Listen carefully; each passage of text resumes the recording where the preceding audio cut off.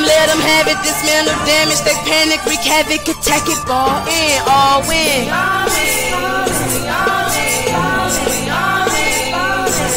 No hesitation, the confrontation, we ready, you waiting, anticipating this ankle breaking. Virgo babies, what's good? All right. Thank you for viewing my channel here. Let me get my lights right, right? Um, all my newbies, there's a welcome video available for you babies just to understand how I do my intuitive messages. All my returning subscribers, I definitely appreciate you guys. And if you hadn't already, go ahead and hit the like button before you forget. Hit the description box down below and check the notification bell so that you can receive your updates. The services that I provide, my website, Etsy store, and social media uh, handle names are in the description box, um, as well as a brief summary of what this reading is for. So I am doing my Virgo, Virgos. This covers you throughout the month of August. So this is the energy that may have passed or maybe coming toward you or that you're presently in. If it doesn't resonate with you, check out your sun, moon, and rising sign and the other videos that I have available. Um, this could be your energy or the person that you're dealing with. And like I said, past, present, and future. All right then. So we'll get started just to clear the air, you know. Close your eyes. Inhale deeply, right? Stretch those lungs.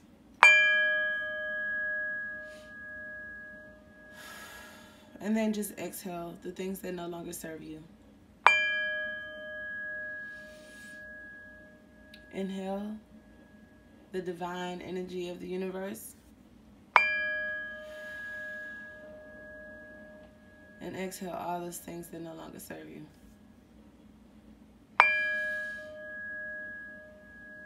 Inhale the essence of the divine. And exhale all those things that no longer serve you. Let's go. So, Virgo, you guys have been in some kind of conflict, making decisions, um, and either, you know, hiding the truth or a lot of things about truths, uh, discovering some truths, and possibly dealing with more than one lover, right? Um, when I did my pre-meditation, I didn't see a lot about finances, but I will uh, dig deep into them for you.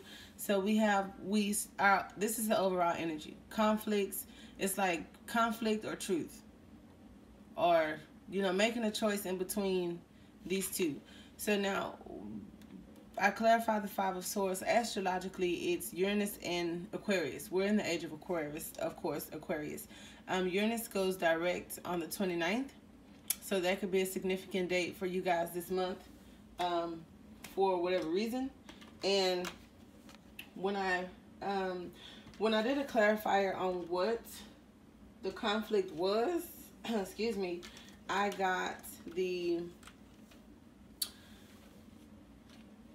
Five of Pentacles, the Lovers, the Cup Prince or Princess, whoever you're dealing with.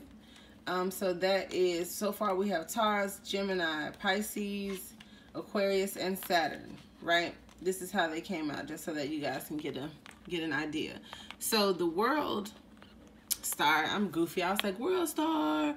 So the world and the star card just shows um, the person that you were dealing with may be a public figure or of some sort or it could have been like a wish fulfillment like some type of blessing granted right from the universe because we have the world um, and the star. Maybe this is somebody who just looked to you as that opportunity. They thought you were you know a wish fulfillment or you felt that way about them or just something about you know, the world bringing you guys together. We have the stars, so maybe it was divinely guided, or this person um, is, like I said, Aquarius, Saturn, and then I have Aquarius, Capricorn, Aquarius, Saturn, um, in the the overall energy for these two cards, as well as uh, Libra. So that could be affecting it. A Libra could have affected you guys' relationship.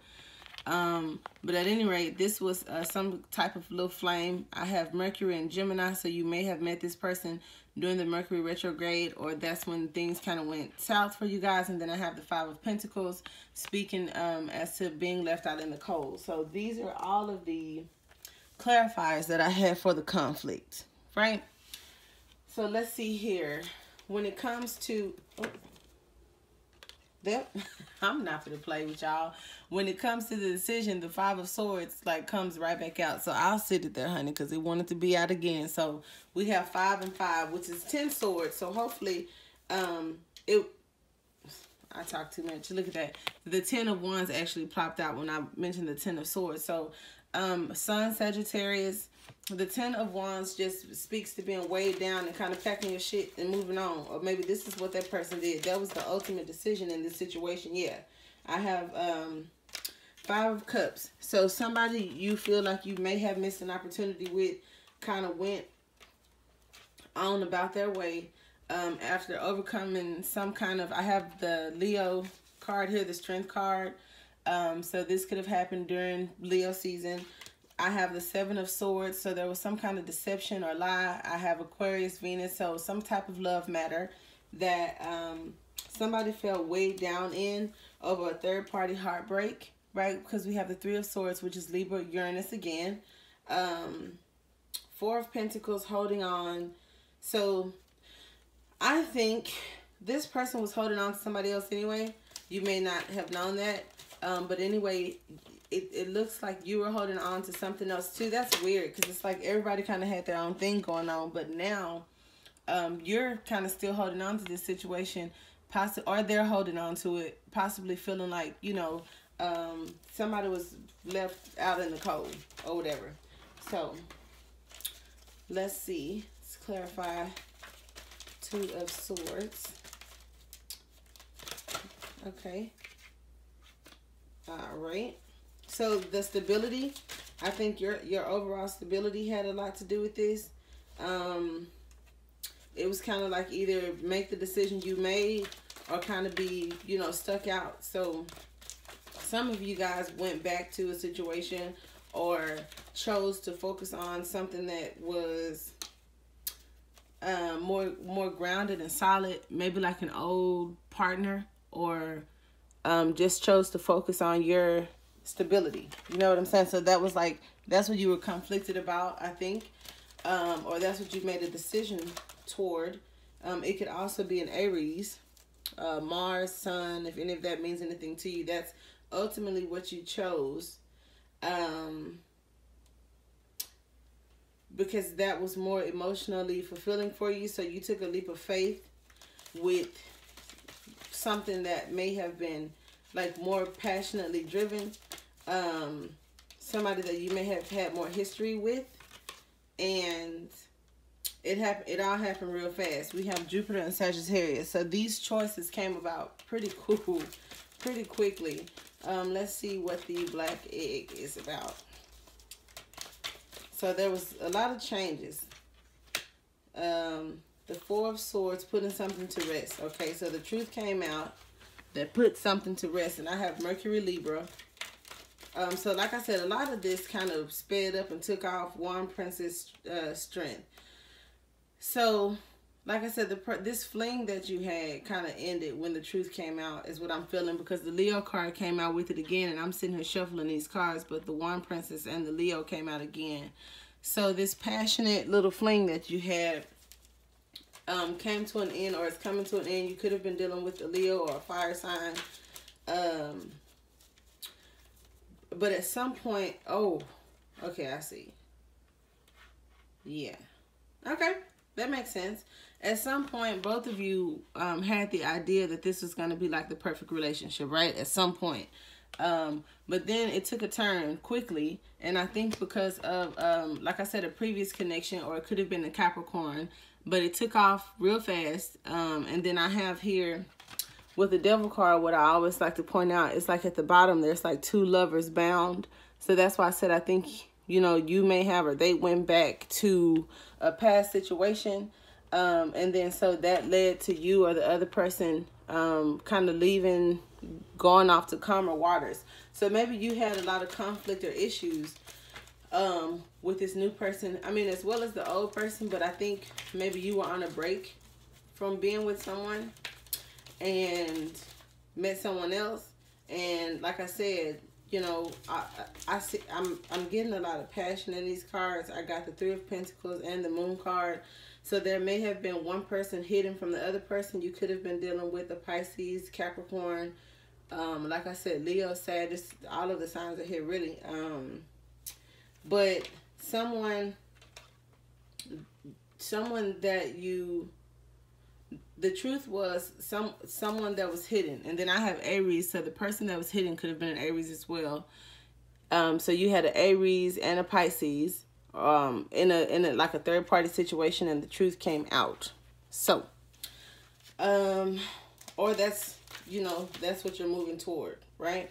And then we have the Seven of Wands. You were defending or trying to defend um, your position. So I think that's that's selfish. So it looks like you or the other person, somebody was trying to defend themselves in the matter, like to both parties. It's kind of like you know Mm, like all like all they cared about was themselves. So like all you cared about was yourself. Um, so yeah, and then you come out as the wand king. So yeah, I think you met someone else, and then this you or the other person is wand king and queen. It's like the karmic couple, like your twin flame or something like that. And you guys were on a break or something, I don't know. And then it was just a bunch of conflict, chaos, and lies. Um, and that's not nice, dear Virgo. But I mean, regardless of who whose energy is what, um, it just seems like um, there was yeah there was a there was a third party situation, um, and then here you or your mate comes up again um, as the father of wands, and the unicorn came out. So let's see. Oh, okay. Let's see here.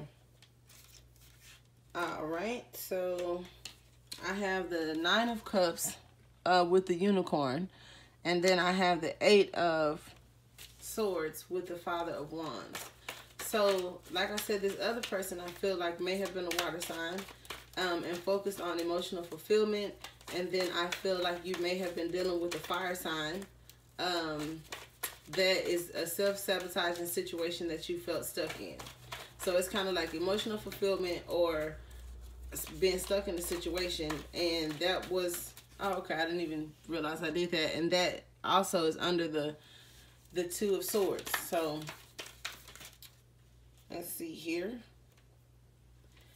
there was an offer from an investment so i i guess the you went for you're going for the stability right um because i have the seven of pentacles and the son of cups the Seven of Pentacles speaks to seeds uh, being planted, waiting, you know, sitting, twiddling your thumb, waiting on something to grow. And then I have the offer there. So um, maybe you didn't see um, anything moving forward with one or the other of the person.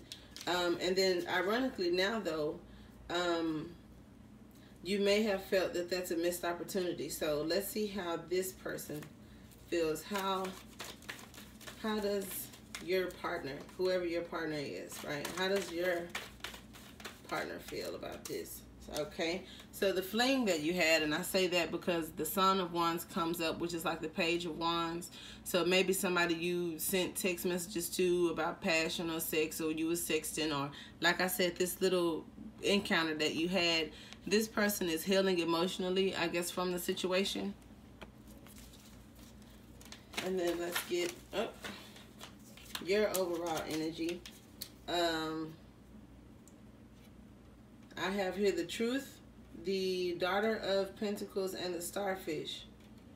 So, and then I have the five of swords. I just wanted to tell you what came out, but, um, and then the sun card keeps wanting to come out. So, but um, I didn't even get my thought all the way out. They just kind of fell out. So I'm going to do it again. So we'll get a clarifier on like the, like I said, the eight of swords. But we, I, I mean, I pretty much already know. That's just like um, whoever represents that fire energy, they're kind of feeling trapped or stuck in a situation. Um, and then the other person, like I said, went about their way to get emotional fulfillment. So now you, uh, dear Virgo, showing up in your own reading as the Hermit. Um, we got that star again. So yeah, like I said, I think, I think with the star that shows to Aquarius, right? And you are in contemplation of this because we had, yeah, we had the star here under the, like I said, the possible Taurus, Gemini, or Pisces um, that you were in conflict with. That that person is still on your mind, or you're still on that person's mind. Watching them, you know. I see the Ace of Wands so you may uh, still have a little fire in your belt, under your belt form. You know what I'm saying? Um, but you may see them, like I said, doing, you're doing a little bit better or they're doing better than expected. Because whatever happened kind of shook shit up. And I think it's them. Yeah, because the Cancer, Pisces, Scorpio, um, or what's not seen or either you're not showing it or they're not showing it that they that it feels like a missed opportunity. Um, because we have the five of cups in reverse. And then like i said the missed opportunity was the situation that was put to rest.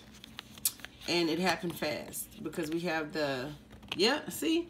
I, I felt this when i was meditating. So we have the four of swords um, that shows an ending right? And victory. But an ending to something putting something to rest um, that came quickly. We have the chariot, and then um, under the chariot we have the the seven of swords.